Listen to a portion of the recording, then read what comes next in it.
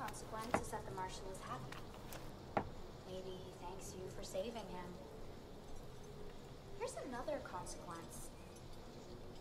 You've made me unhappy.